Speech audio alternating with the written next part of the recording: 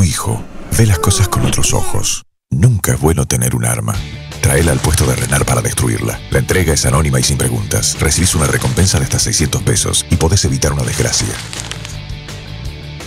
Desarmar, campaña de convivencia pacífica y desarme, es honrar la vida.